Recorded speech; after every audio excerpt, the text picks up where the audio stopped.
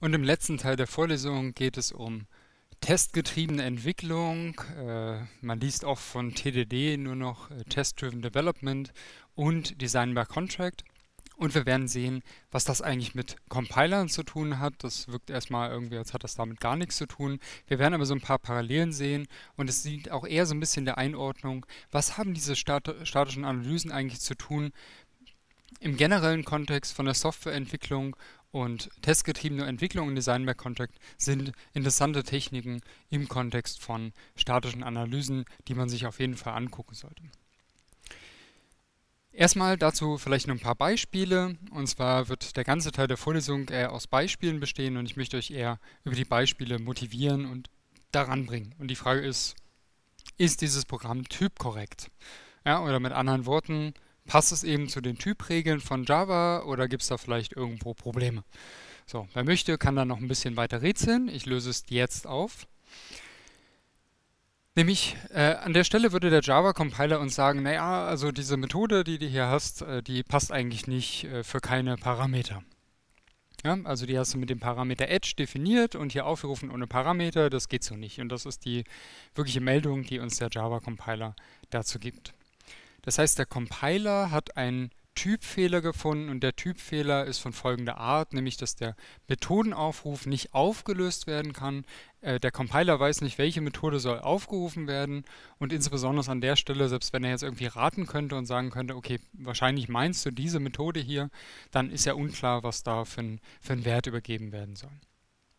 Das heißt, an der Stelle, und da unterscheiden sich quasi auch stark und schwach getypte Programmiersprachen, eine schwach getypte Programmiersprache würde vielleicht sagen, ja, dann suche ich halt so eine Methode, die so ähnlich aussieht und nehme die und übergebe da einfach null. Und eine starke typische Programmiersprache würde uns auf jeden Fall zur Compile-Zeit schon äh, einen Fehler geben und wir müssten den Fehler erst beheben, bevor wir das Programm kompilieren können. Jetzt können wir den Fehler beheben, ja, mit genau dem, was ich eben schon gesagt hatte. Wir können da einfach null übergeben. Ja, wissen wir jetzt vielleicht nicht, was wir da sinnvoll übergeben sollen, übergeben wir mal null. So, und jetzt die Frage, ist das Typ korrekt? Und auch da könnt ihr gerne wieder drüber nachdenken. Ich löse es jetzt auf. Das Programm ist tatsächlich typkorrekt. Ja, also das erfüllt die Typregeln. Hier wird, äh, wird keiner Typregel widersprochen. Nichtsdestotrotz gibt es trotzdem einen Fehler, und zwar einen Fehler zur Laufzeit, nämlich wir haben, äh, werden eine Null Pointer Exception sehen und zwar sagt uns die Null Pointer Exception eben nicht der Compiler, dass es die gibt, sondern das merken wir erst bei der Ausführung. Wenn wir diese Main-Methode ausführen, dann werden wir eben, wenn diese Equals-Methode aufgerufen wird, wird eben e.first ausgewertet und an der Stelle werden wir auf eine Null Pointer Exception stoßen.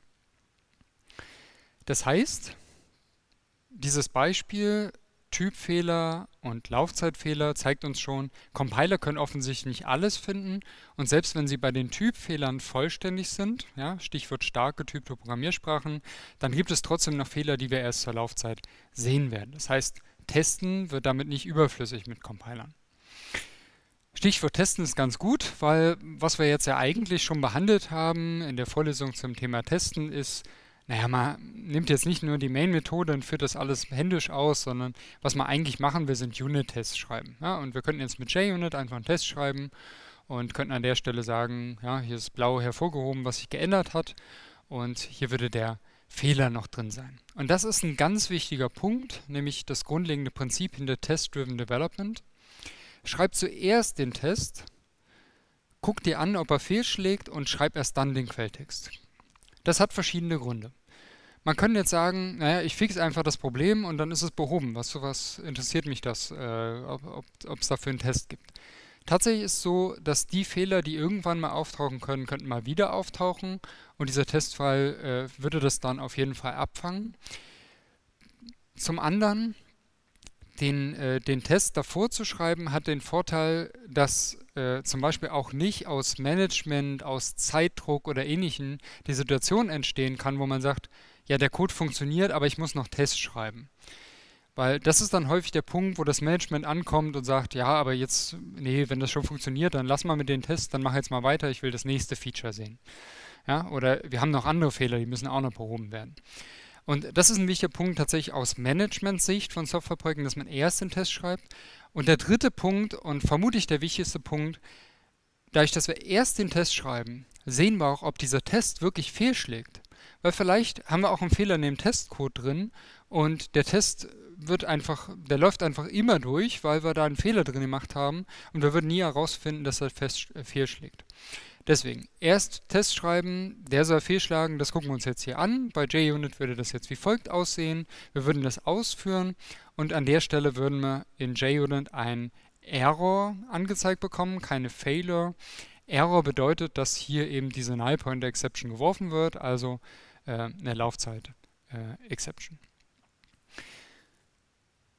Failures kommen wir gleich zu, äh, wann äh, werden wir gleich auch noch Beispiele sehen. Und wir sehen hier an der Stelle auch, an welcher Stelle das passiert. Wir können uns angucken, in welchem Testfall. Und das, was wir hier links unten so, so klein und unscheinbar sehen, ist tatsächlich der Trace, der Methoden, äh, der Stack-Trace von den Methoden aufrufen. Und das ist das, was wir vorhin im Speicher gesehen haben, als verschiedene Abschnitte, die einfach übereinander äh, von Methodenaufrufen passieren. Ja, das können wir jetzt hier tatsächlich auch nachvollziehen welcher Testfall ist fehlgeschlagen, welche Methoden wurden nacheinander darin aufgerufen und in der Praxis hat man keine Stack Traces, die irgendwie zwei Methoden lang sind, sondern eher welche mit 30 oder im Eclipse-Umfeld mit 50.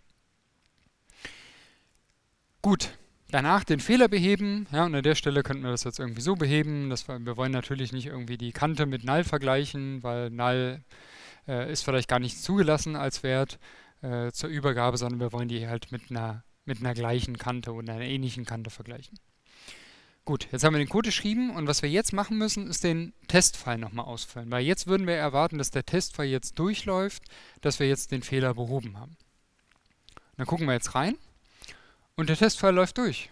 Ja, super, fertig, Vorlesung zu Ende, Dankeschön, tschüss. Äh, Moment, was bedeutet das dann, wenn der Testfall durchläuft?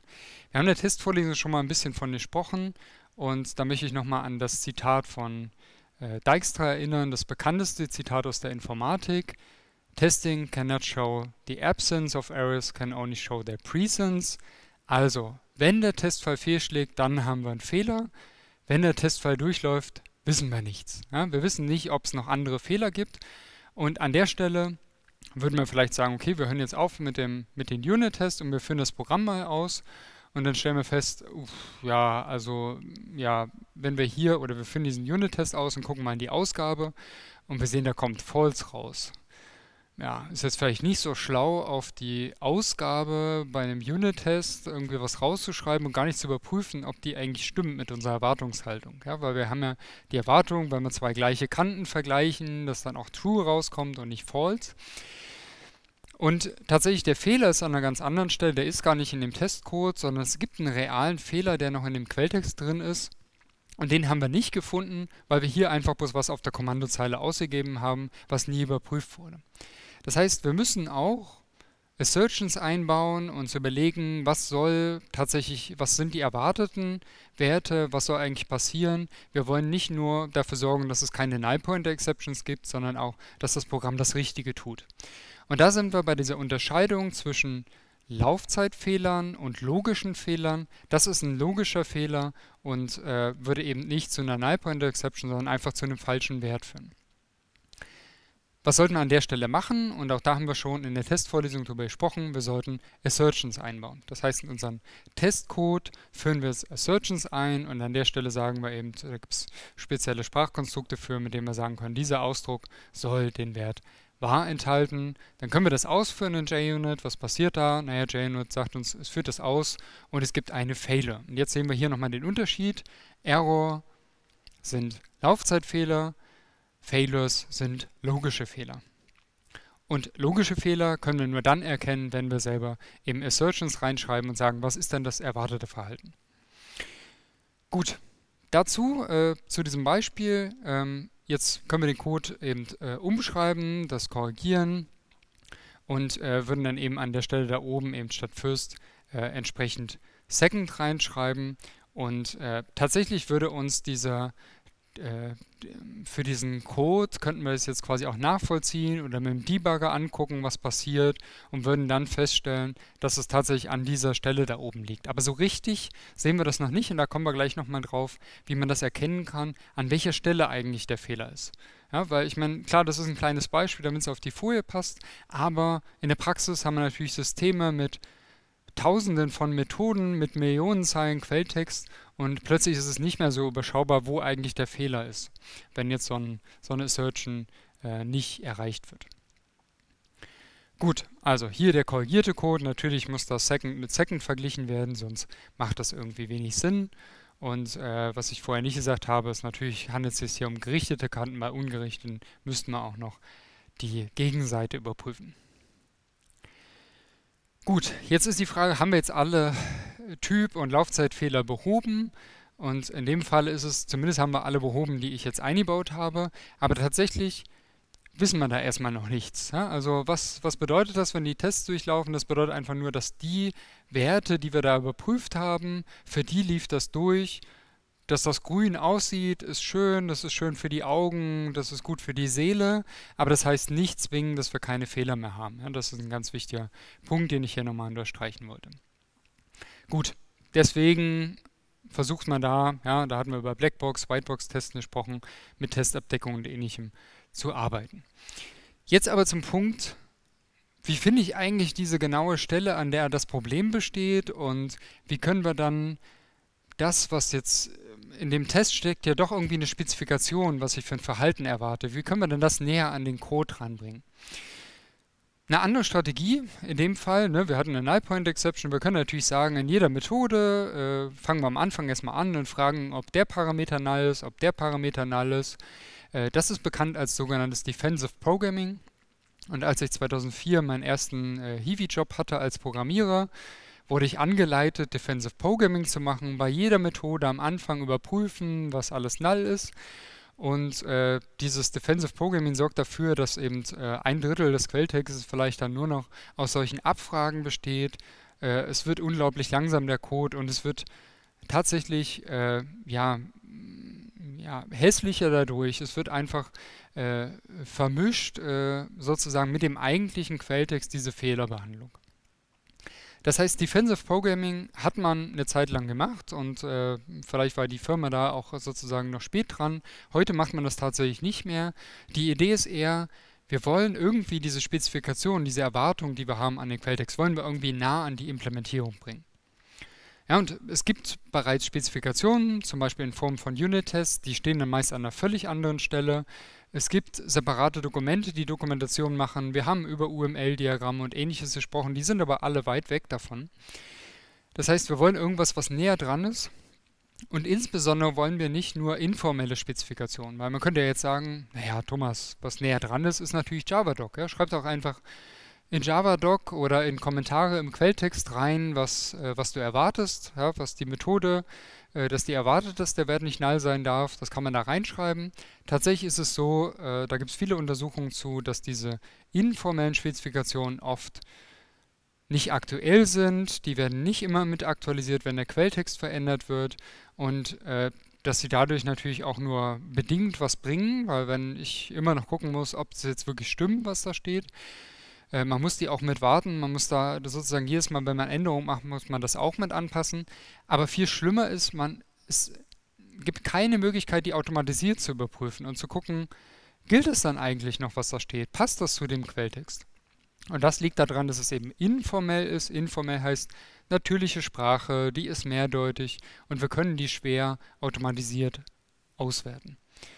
Es kann sein, Jetzt könnt ihr alle um die Ecke kommen und sagen, ja, aber Thomas, es gibt doch jetzt Machine Learning und in zehn Jahren können wir das machen. Kann sein, dass wir das in zehn Jahren machen können, aber dann haben wir vielleicht da, äh, schaffen wir damit eher weitere Probleme. Die Idee von Design by Contract, und die ist deutlich älter als jetzt sozusagen die aktuellen Machine Learning Entwicklungen, dass wir eine Spezifikation direkt an den Code schreiben. Nicht in irgendein extra Dokument, nicht in die Testfälle, sondern direkt in den Code, direkt an die Stelle, wo das der Aufrufer auch sieht, zum Beispiel von der Methode. Und dass die Spezifikation formal ist. Was heißt formal?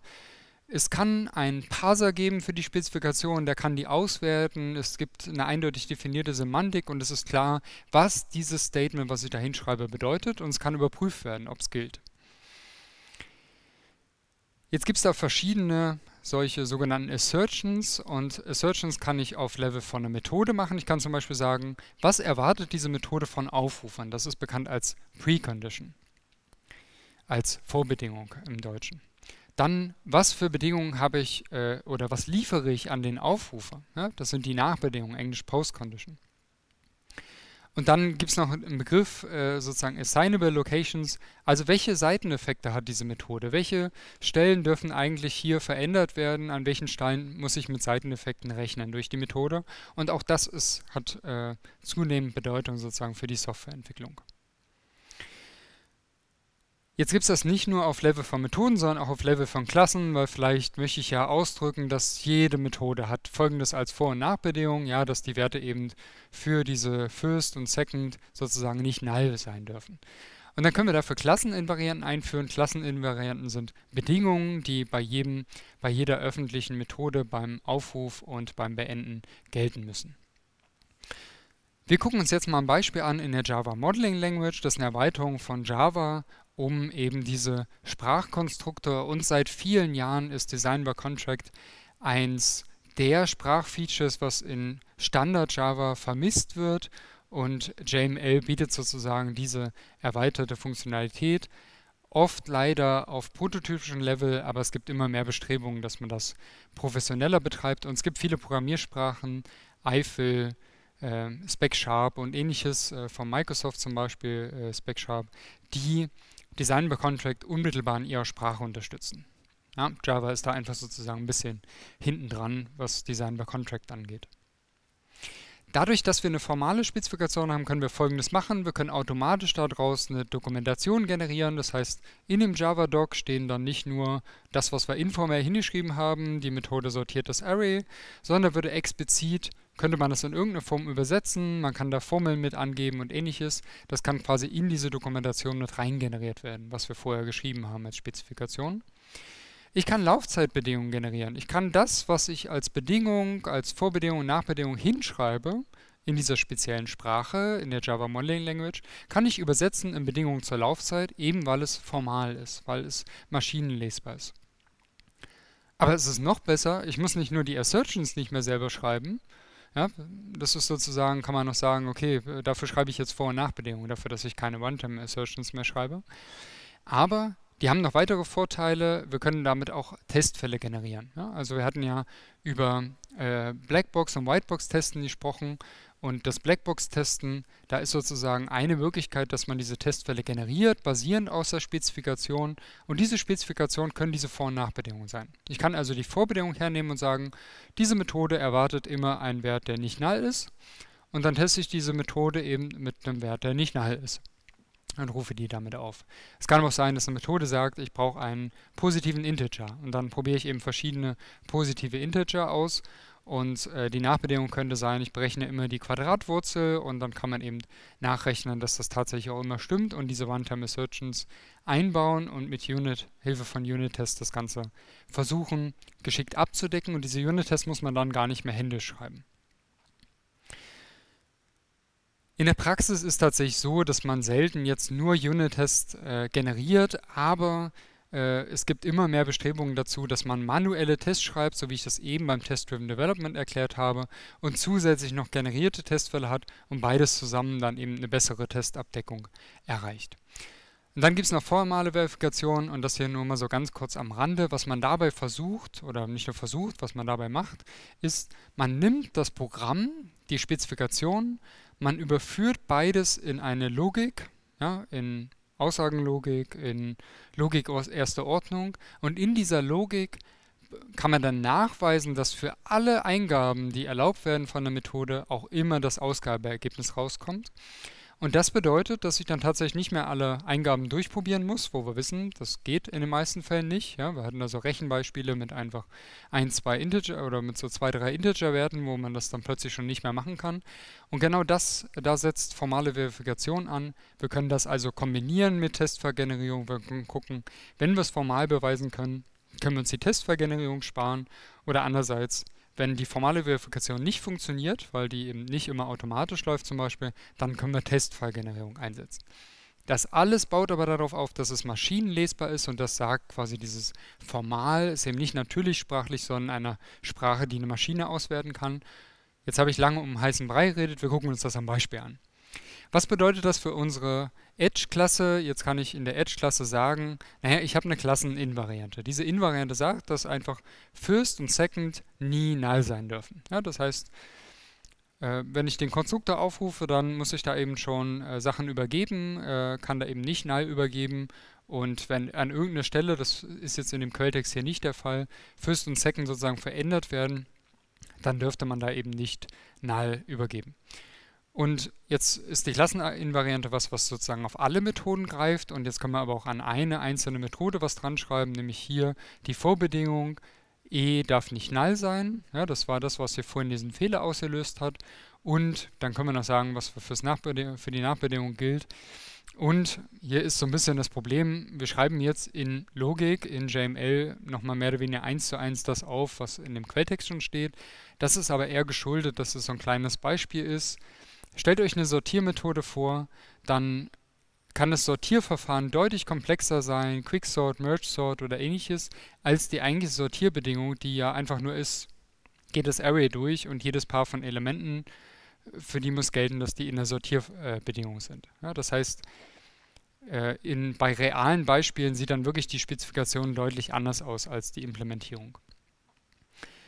Was man jetzt eben mit deduktiver Verifikation, mit formaler Verifikation machen kann, ist wirklich nachweisen, dass diese Methode das eben immer erfüllt und dass zum Beispiel auch alle Aufrufer eben diese Bedingung erfüllen. An der Stelle würde man dann eben fehlschlagen und äh, entweder deduktive Verifikation würde uns dann eben sagen, äh, die formale Verifikation würde uns sagen, hier, das darfst du nicht mit null aufrufen, das kann ich so nicht verifizieren.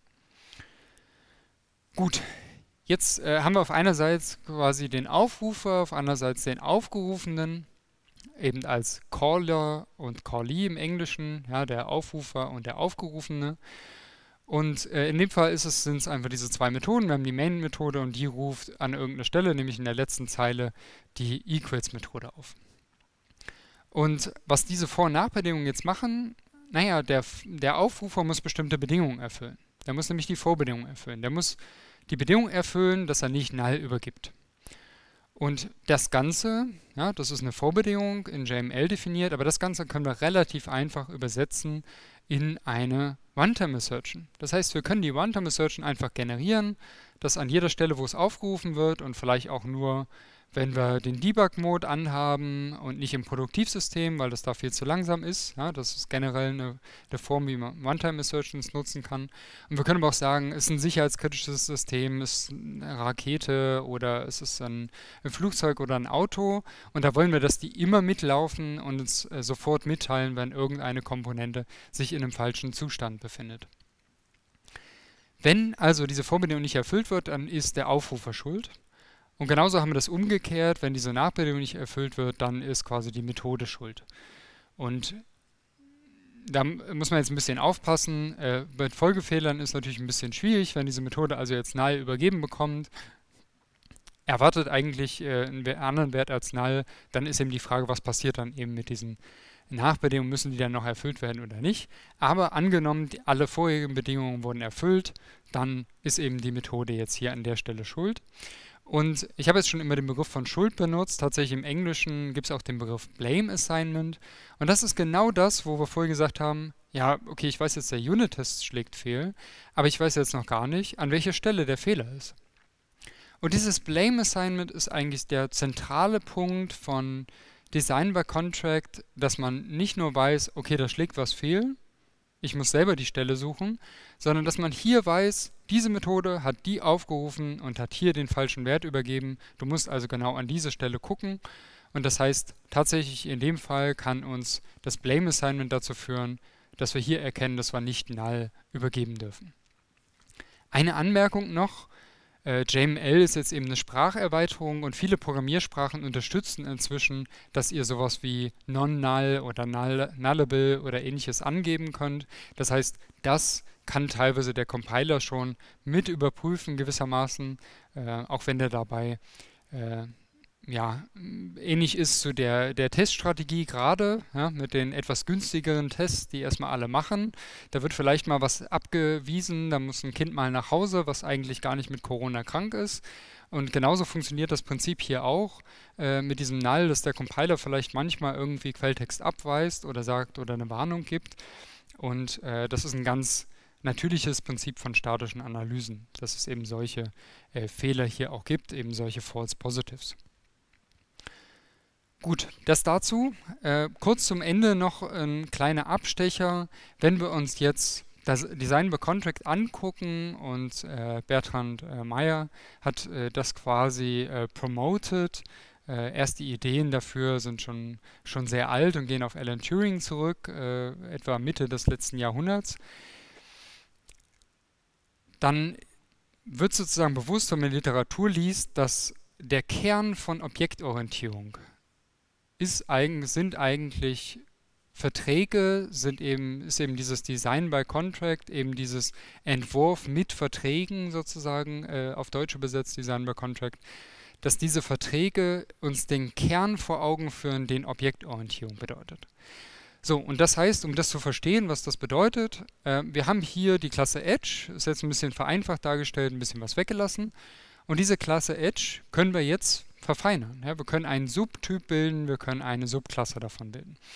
Und in dem Fall können wir einfach sagen, na, wir haben nicht nur Kanten, sondern wir haben auch gewichtete Kanten. Gewichtete Kanten sind einfach auch Kanten, aber die haben eben noch das Gewicht und die Equals-Methode muss jetzt ein bisschen anders aussehen. Und an der Stelle ist das Entscheidende, was passiert jetzt mit diesen Verträgen? Ja, weil unter Umständen müssen wir ja schon die Verträge anpassen, weil der Vertrag möchte jetzt auch darüber sprechen, dass das Gewicht nicht null sein darf, weil sonst kriegen wir da eine Null Pointer Exception.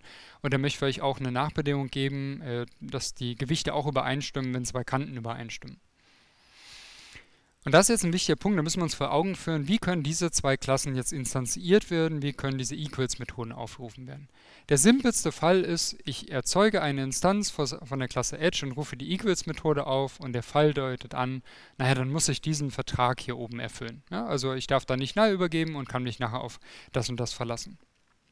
Jetzt gibt es noch einen anderen relativ einfachen Fall, zumindest augenscheinlich, also auf den ersten Blick, nämlich wenn ich Weighted Edge instanziere, die Equals-Methode direkt darauf aufrufe, dann muss ich diesen Vertrag hier unten erfüllen. Ja, also dann muss ich quasi, äh, äh, darf, ich, darf das Gewicht nicht null sein und ich kann mich nachher darauf verlassen, dass die Gewichte übereinstimmen.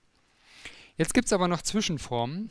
Es ist nämlich denkbar, dass ich ähm, in einer Variable vom Typ Edge eine Klasse Weighted Edge ähm, instanziere und da abspeichere und dann rufe ich die Equals-Methode auf und äh, Achtung, da sind wir wieder bei dem Punkt äh, Dynamic und Static Dispatch. An der Stelle rufe ich zwar die Equals-Methode auf, aber der Programmfluss kann natürlich beliebig komplex sein zwischen diesen zwei Statements, ja, dass ich gar nicht weiß, wenn ich dieses i.equals aufrufe, was für ein Objekt habe ich eigentlich. Und das ist bekannt als Polymorphismus, als Subtypen, als Vererbung. Und an dieser Stelle ist es wichtig, dass sich eben Weighted Edge, die Methode Equals, genauso verhält, wie es für die Edge-Klasse generell angegeben wurde. Das heißt, die Implementierung in der Subklasse in Weighted Edge muss sich genauso verhalten wie die in der Edge-Methode.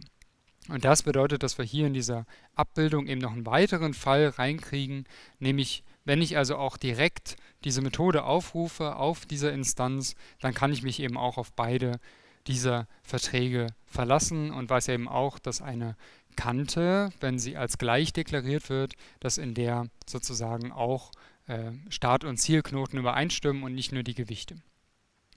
Das äh, dazu noch als Hinweis äh, so, oder als kleiner Abstecher. Das ist nur ganz vorsichtig mal angedeutet, was Behavior Subtyping ist. Wenn man da in die Details reingeht, wird es viel, viel komplexer. Aber dass ihr so einen Eindruck bekommt, diese Verträge, da muss man durchaus ein bisschen drüber nachdenken, was passiert da eigentlich bei Vererbung. Und gerade dieses Polymorphismus, ich weiß gar nicht, mit welchem mit welcher Subklasse, mit welcher Instanz ich jetzt eigentlich arbeite, das bringt sozusagen viel für das äh, Design einer solchen Sprache wie eben die Java Modeling Language, kurz JML. In diesem Teil ging es um Test-Driven Development und Design by Contract. Ich habe euch ein paar Beispiele auch gegeben noch zu den letzten Vorlesungsteilen. Wir haben also Beispiele für Typ, für Laufzeit, für logische Fehler gesehen. Wir haben auch nochmal Beispiele in JUnit und Assertions gesehen und Design by Contract als im Wesentlichen, wir haben Klasseninvarianten Vor- und Nachbedingungen Wir haben sowas wie Blame Assignment. Wir finden diese Stelle im Code, die eigentlich gerade schuld ist. Und äh, wir haben im Behavior Subtyping, das heißt, wie müssen Verträge aussehen, wenn ich Subklassen erzeuge. Und das alles habe ich euch illustriert anhand der Java Modeling Language. Was könnt ihr euch jetzt angucken? Ich glaube, was jetzt ganz gut ist, nachdem wir jetzt viele Beispiele schon gesehen haben, aber eben noch nicht für alles Beispiele, gebt mal selber Beispiele für lexikalische Fehler, für Parserfehler, für Typfehler, für Laufzeit und für logische Fehler. In dieser Vorlesung haben wir jetzt tatsächlich Typ, Laufzeit und logische Fehler schon gesehen. Äh, das heißt, da gern weitere Beispiele oder eben lexikalische und Parserfehler. Das heißt, äh, da mal überlegen, was fällt quasi in diese Klassen rein, was kann man eben beim Scannen und beim Parsen als Fehler erkennen. Das bitte wieder in Moodle und dann äh, gern äh, für die Beispiele von anderen Kommilitonen dann mal diskutieren, wie können die erkannt werden, können die mit einem Compiler erkannt werden oder nicht, in welcher Phase vom Compiler werden die erkannt und äh, ja, was, äh, oder wenn die nicht mehr im Compiler erkannt werden können, äh, was kann ich dafür nutzen oder könnte da vielleicht auch Design by Contract helfen. Dann bedanke ich mich für eure Aufmerksamkeit bis hierher und viel Spaß bei der Interaktion.